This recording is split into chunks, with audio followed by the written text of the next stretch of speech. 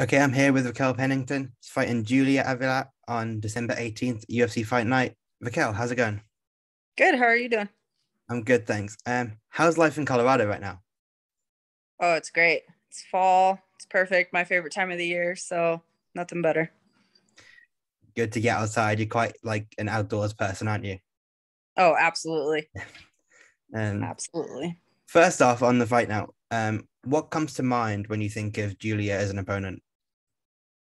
Um, I don't know. I, I mean, she's aggressive, uh, and she just goes out there. Um, when I think of the fight, it's almost exciting to me because I feel like she's uh gonna drag out my aggressive side for sure. So it's gonna play out for a very exciting fight. How long have you had your eye on her as a potential opponent? Are you the kind of person that likes to study the whole division? Honestly, I haven't. Um, I want to. I. I mean, for everybody who follows me, um, you know, I've had like some ups and downs going on the past few years and whatnot. And then this past year, I fought Marion back in 2020, um, and I felt like I was starting to get back to myself. And then all of a sudden, I had the issue with USADA and my thyroid and stuff. And so it was just one thing after another, and it just felt like another setback. Uh, when they took me out of the rankings, I was ranked number four obviously the goal here is to climb the ladder. So now that I actually fought and they put me back in the rankings, I think they have me as like maybe number nine or something like that. Um, so my idea is I want to fight anybody in front of me and get back to where I was and continue to climb and get that world title shot again. Um, but you know, at the end of the day, I feel like anybody who's in the UFC, they have a different challenge to bring to the table. I'm a person who loves challenges. And so my goal is just to get active, get to feeling like myself, get rack up some wins, get back um on my winning streak and stuff. And so, you know, after I fought uh Pannie, I just asked for another fight and they offered me Julia and that's how that came about. You mentioned obviously being removed from the rankings. How does it feel to see that after like the hard work you've put in? Was it because of the USADA thing? Honestly, it's super frustrating. Um, yeah, it was because of the USADA thing. Apparently, like when you go under suspension like that, they remove everybody from that. So it's super frustrating to see where you work so hard to get to and then how easily you're taken out of. And then all of a sudden you're just kind of replaced wherever. So for me, you know, I don't really care about the rankings um, as much. It might sound like I do at this moment, but like I actually don't because at the end of the day, you could be number one, you could be number 25. If you put on a good fight, I mean, you're right back up there. You're going to get a world title shot, whatever it is. Um, so oppor- opportunities present themselves a lot differently. Um, but yeah, that's how that happened. So the last time we spoke was just before the USADA thing happened. So do you mind just going into what happened there? Because you self-reported it, didn't you? Uh, well, I actually, I mean, that's how they put it, but I actually called for TUE, which is supposed to be our exemption um, program. Yeah. And basically, like I said, anybody who follows me, they've known um, when after I fought Miesha, I went into three major surgeries and then I developed a thyroid issue and I was getting tested for thyroid cancer, um, autoimmune diseases, like all this stuff that was going on. They couldn't figure it out. And then finally I got diagnosed with hypothyroidism. Uh, I shot up to 174 pounds, bigger than what I've ever been in my entire life. Like I just couldn't figure out my body. I was balding, all this stuff was going on. So, you know, they put me on some medicine and whatnot. And just things were not working. Like the medicine kind of controlled it a little bit. But then when I fought Germaine, um, I ended up missing weight. Like my body was just shutting down on me. There was no way uh, I could get past 137. So it was just taking a hit on me emotionally um, as well as physically. And then after that, uh, obviously, um, you know, I fought a few more fights and I was like, okay, I need to like really figure out this thyroid issue. Uh, it's just, it's been an uncomfortable lifestyle. Like I feel like I'm living in my body, but I don't even understand my body. And it's weird when my whole life I've been in tune with my body, especially being an athlete who cuts weight. So I went and seen a hormone specialist. When I seen the hormone specialist, uh, basically I'm estrogen dominant and produce like zero testosterone. So they were worried about like breast cancer and different things. So there was stuff going on with that and getting testing done. And the doctor was like, you know, I want to put you on a microdose of testosterone to get your body to understand that this is what it needs to produce. And hopefully you can like start producing this on your own again. So that was pretty much the case um, that I was under the impression of. And then I'm the type of person that I get the Monday through Sunday little pill things and I'll put like my vitamins in there. So I put my pills in there with my vitamins and I was just taking my medicine. And one day I like went to go refill it and I looked at the bottle and I was just like, this doesn't say testosterone on it. So I like uh googled it and it was like 7 keto DHEA or whatever. Um in like the world, the way the world sees it is it's actually a fat burner apparently. So like wow, what I'm gonna sweat more. but the way that USADA has it listed is a performance enhancer, which is outrageous, especially the dose I was on. So I called UFC anyways. Um, and I was like, hey, like I need to get an exemption for all this and stuff. and basically it turned into this whole thing where I got denied along with tons of other athletes who get denied their TUEs.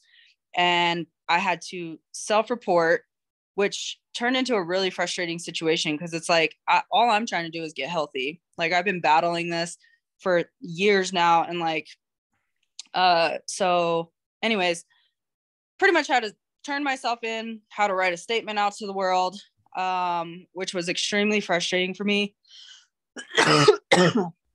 Sorry, it's a little dry right now. Let me grab some water actually. But uh had to turn myself in for that. And then um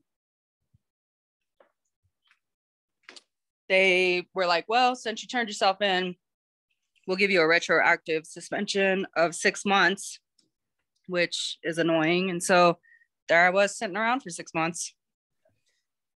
Obviously after the health issues you mentioned though it must have been good to have that break a little bit obviously what Oh, sorry. Um, sorry. That's right. Um, after those health issues, it must have been quite good to get a little bit of a break, though, right? Um, you know, as frustrating as it was, it was actually nice because it kind of forced me to take yeah. a break that I would have never taken.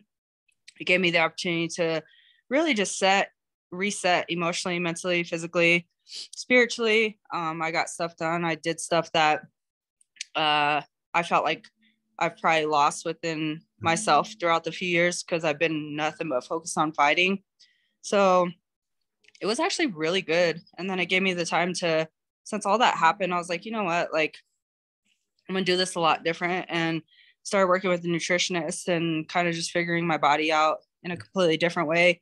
Got away from anything that goes in my system, did blood work to figure things out again and see where we're at. And now I actually feel like the healthiest I've been in years. So it was good. Obviously, you don't want to speak out against USADA and the UFC and things like that, but do you think there should be a bit more sort of leniency when it comes to health issues like that? Absolutely. You know, I know that there's cases out there where guys have had like um their testosterone issues or issues with even uh being able to have kids and stuff and they get on medications to try to do this and build different parts of their lives and they're over here getting in trouble as a professional athlete and that's where it gets super frustrating you know? I love the fact of a clean sport and everything that they're doing but it's just frustrating because it's like you know you've had those athletes who've ruined it for people like myself and other athletes who were just trying to get our health under control or different things but because people were jacking around and really wanting to like enhance their performance and do different things. Now here we are in this boat. But the frustrating part was just the fact that they've been following my case for all this time. They've like seen my results. They've been trying to help me with stuff. Uh, they've seen my blood work. And then when all this happened, you know, they came out and tested me immediately. Then and then I was getting tested once a week for four weeks. And like the second time that they came out, which was a six day difference from the first time, they tested me and it was already out of my system and they took the medications, tested the medications, like all kinds of stuff. And it's just like, I don't get it. Like, you guys literally have followed my case. You guys have seen my results. You guys spoke with the doctors, you spoke with the nurse. And so it's like, it's transparent, yeah. but it turned into a situation that, whatever, it is what it is. And, you know, some good things came out of it. So, and obviously, that's not the only health issue you've had to deal with um, before your last fight, you had a pretty severe battle with COVID. Um, just talk a bit about that a little. yeah, so I was originally supposed to fight Pannie uh, June 12th, the pay per view card. And um, I coach high school gymnastics. And, you know, I mean, it can come from anywhere, but I'm assuming that's where I contracted the virus at just because some of my gymnasts ended up popping positive and I was the one that was mostly around them and spotting them and doing different things. So, um anyways, I came down with the symptoms and it really felt like a bad case of the flu at first. um had a fever, just really bad head cold, like just was really miserable. So of course I stayed home, quarantined, was resting, reached out to the doctors and they were like, you know, like keep your fluid intake up, take all the vitamins and stuff. And I was doing that. And then all of a sudden, three days later, like I felt good, felt perfectly fine. So I was like, okay, cool. But I had to stay in quarantine. So, you know, just doing stuff around my house, hanging out, waiting for my quarantine to be up. Uh, two days later, all of a sudden it just knocked me on my butt. And I've honestly never been so scared in my life. Like it gave me a different perspective, but I went through and like got my will together, did all the things, like was put my ducks in a row for everything that needed to be taken care of because I honestly felt like I was gonna like die. Like I've never felt my body doing what it was doing. It felt like it was drastically shutting down. Um, I was sick for over 31 days. I had like a migraine that was getting so bad. The pain was going down my spine. So I was like sleeping on ice packs or trying to sleep. Then I uh, like got really bad insomnia. So then I couldn't sleep. And that's terrible because when you're already exhausted and not feeling well, and then be even more exhausted and you're not catching up on rest. So it was just like one thing after another. and then I ended up on um oxygen. I ended up going to the hospital because it got so bad and I felt like mountains were just sitting on my chest. Went to the hospital, they put me on oxygen. Um I was on steroids for my lungs and then uh they had me on an inhaler. Um I tried I think every medication possible for headaches. Nothing was working to break that. And then I lost my taste and my smell. The body aches were like one of a kind. And then it just felt like, you know, I could barely get up and walk like five, six steps. And I felt like I ran a marathon. Um, and it just continued. And then I, of course, didn't want anybody around me because I was scared to give it to my family. I mean, I'm the healthiest in my family but it was also like terrifying being alone. So my mom ended up coming to my house and she was staying with me and kind of just checking in on me. And one night I woke up in the middle of the night, I was already on two liters of oxygen and I woke up feeling like I was suffocating. So she called 911. I ended up going back to the hospital. And it was just, it was, it was a battle. It was a serious battle. And then trying to come back from that, like the fatigue and everything. Um, I had to go see a cardiac specialist and all kinds of different things and get some testing done. And then trying to get back into training to even prepare for a fight was that was one of a kind. Like I, it was frustrating because of course me being who I am, like I just wanted to go and I'm used to what my body couldn't do, but I couldn't do nothing. Like I would barely do like a set of bicep curls or something. And I was just winded. So it was like I was doing mini sets of things and then I was doing like five minute breaks in between everything. And it took a while to actually build back up. You know, it's crazy hearing that when you see people who still seem to think it's like something that just old people get, you know? Um, seeing yeah, yourself. People, uh, don't take it serious. And uh, after experiencing it, they should take it serious. I mean, see yourself obviously fought for the world title, professional athlete, get it. These other fighters, Chimaev had it bad. He's fighting soon. Um, there's been a lot, and like there's a lot of examples now of athletes who have suffered pretty badly from it. Yeah. But then I know quite a few that you know they uh, quite a few of them too. They had some pretty bad cases, and they were like, "We just don't understand," and you know some really well known names, and they were just like, "We feel like we're going to die," and it's like it's a really weird feeling. Um, so let me tell you, after experiencing that sense of fear, it almost like sets you up for a place that like not many things in life kind of scare me right now. You know what I mean? Yeah. Um, I suppose that's one of the problems of being around gyms and stuff, isn't it? things are contagious. Um, Yeah. Yeah. But despite that, you came back to that last fight fairly quickly, right? Um, but you'd been out for over a year, um, obviously. How Mm. much of a how much of it was how much of a relief was it to get back in there and get that win after everything you'd been through? It was exciting. It was super exciting just to get back out there. it was exciting to feel completely healthy. Um, you know, I mean, I still had some questions to as far as like, because there were some days that I would just like fatigue really insane at the gym. So I still had some questions to how my body was going to react going at such a high intense pace. Um, but overall, I mean, getting back out there, just having fun. Like it was a really smooth fight week. My weight cut was the easiest I've had in years. Um, and then I remember walking out, and as soon as I got into the octagon, I was like, "Ooh, all right, this is what this feels like again." Like it was completely different. So to experience that and whatnot, um, but it's just motivating. It's exciting, and that's why I wanted such a quick turnaround, just to continue to knock off that ring rust and climb up. Obviously, you talk about the fear and things like that, but how else would you say that going through something like that changes your mindset, both like as a fighter and just as a person? You know, I mean, it's just like, for one, I feel like at some point in life, we always go through experiences, whether it's losing loved ones or some sort of trauma that we might go through to where we kind of have like an eye opener. It's like, okay, yeah, life is short. But then you like kind of forget that in time. You know what I Mhm. mean? And it's like in the back of our minds, I think we all know that life is short, but we just don't really pay attention to it. But going through the whole experience with COVID and stuff, like it just kind of really shifted my mind frame. Like I really learned to like, I've always been like gracious and grateful for everything and like, um, but I just really learned to like slow down again, appreciate the little things, like just truly live in the moment again and be present.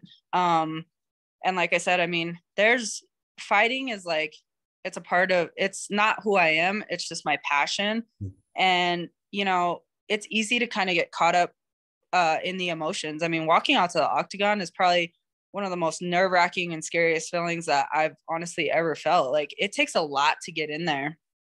And um, but then at the same time, it's like it's so thrilling and exciting and like it's just a weird mix of emotions. But there is that fear that comes along with it. I mean, you're walking out there and you're getting locked into an octagon with somebody who wants to take your head off and vice versa. You know what I mean? Like you want to take theirs off. And uh it's easy to get caught up in those emotions to where like you may like build your opponents up or the emotions just get so heightened more than what it really is. And um, you know, I feel like going through the whole COVID experience and truly experiencing like the fact that there might not be a tomorrow, just I don't know, like so much was going through my mind in that time when I had nothing to do but like just lay around and feel how I was feeling. And when the doctors were just like, all right, like this hits everybody so different. So we're just, what's your worst symptom? We're going to start there and just kind of treat it the way that we know.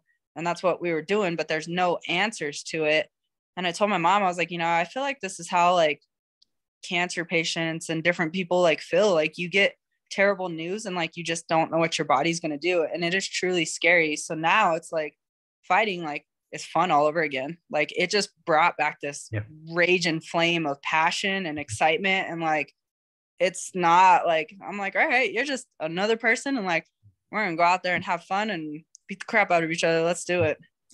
That's a good segue to move back onto the fight. Um, obviously, we're just under two months out from the fight, but you've known Yeah. about the fight for a while. It got announced a li- quite a while ago. Um, you've obviously got a bit more preparation time than a lot of fights we saw during the pandemic. We saw a lot made at short notice. How refreshing is that for you? Um, it's nice. You know, I'm actually that athlete that like shorter camps are better for me. Um, but this one works works perfect. My last fight, uh, you know, I mean, immediately it was just like, come on, give me another fight.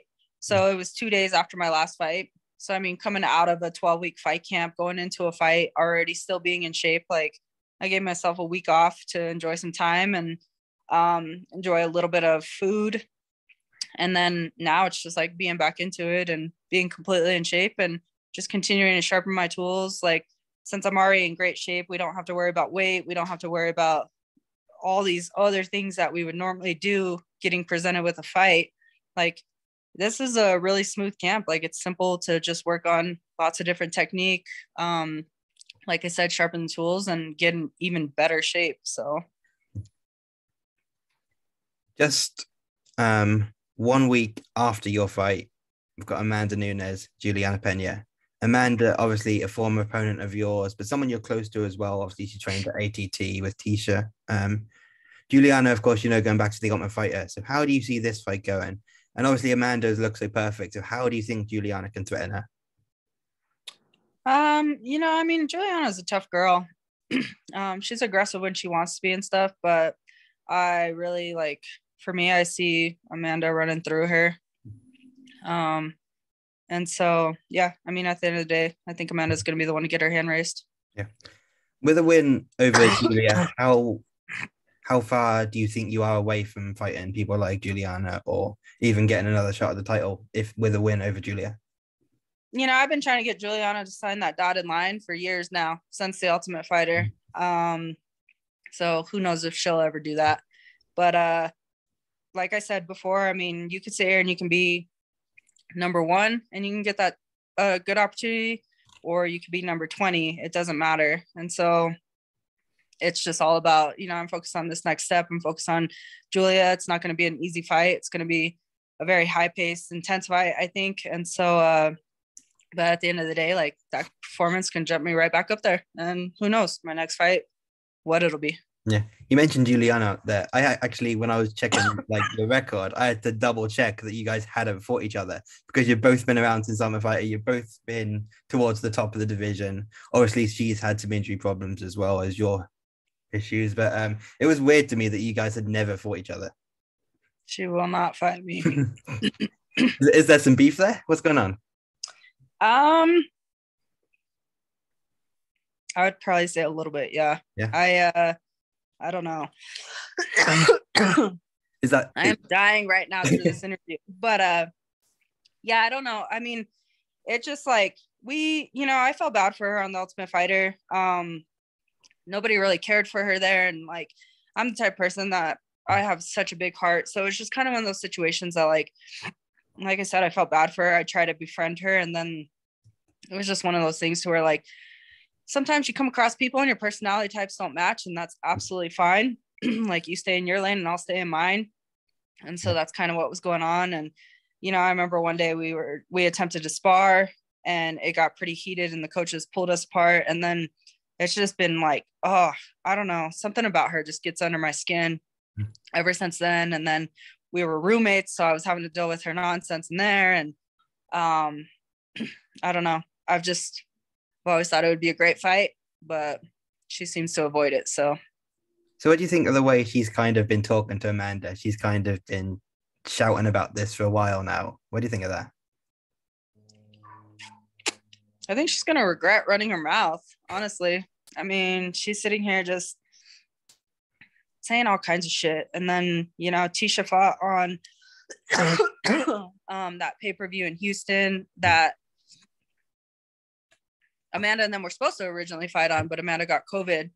And Julianna jumped up at the press conference and just started yapping like she knows how to. And it was just like, that's the shit that I'm talking about. Like, you know, people love it. They love the entertainment. They love all this stuff. But like, I don't know. You got this girl. She's had her injuries. She's had all this stuff. She's been the ultimate fighter winner, but she's been sitting around for a long time too. And like she just, I don't know, girl loves to chat. and uh I don't know. I think at the end of the day, she's gonna regret it. So back to the fight that matters though, Raquel Pennington versus Julia Avila the week after that at December 18th. How do you visualize this one in your mind? Like I said, I visualize it as a exciting fight. I visualize it um, as a fast paced fight. Um, but uh, at the end of the day, I mean, focusing on exactly what I can control and what I'm doing. And so, uh, you know, I plan on dominating wherever the fight goes, whether it's stand up, whether it's grappling, whether it's a cage match, whether it's um, jujitsu. And so, uh, at the end of the day, I mean, I'm getting my hand raised. Yeah. So obviously, without looking too far past Julia, because she's obviously a skilled fighter who's on the rise herself. Um, what's what's next for you? Uh, Julianna, you hope, right? Amanda, I hope. Yeah, oh, but yeah. uh sure. Julianna would definitely work. Um anybody, you know, at the end of the day, I mean, I'm getting older. Like I feel like I'm in my prime right now and I'm really like starting to kick off feeling healthy and everything again. So it's like I feel like this is my time to make my run and being a professional athlete, like our windows are so short. Um, so I just want to make the best of it for the rest of the time that I got. That's a great way to end it, I think. Um, just feel free to shout out any sponsors you've got if you want. Um, I'll give a shout out to Egg Weights. Uh, they're always hooking me up with new fancy gear. Sit there, keep my shoulders in shape, and just constantly burning. Um, Boyke's air dried beef. Let me tell you, if you haven't had air dried beef and you're a beef jerky lover, you'll taste the difference in it. But shh, go get that. Um, Lou Nutrition, who obviously he's my nutritionist, and he has seriously just like changed my world around with things and truly helped me. So I couldn't be any more grateful. Um, of course, to all my family and my friends who have always been there since day one and supported this crazy journey. And then to, you know, my true fans out there. Um, you know, as much as I inspire people, it's a positive circle for me. I'm inspired by everybody's stories and the things that everybody's sharing with me. And then uh, just everybody who helps me, all my teammates, my coaches, and all the ones that stand beside me. Awesome. I want to thank you for the time today, Raquel. It's been a great chat. Um, looking forward to the fight in December. Awesome. Thank you. It was great chatting with you.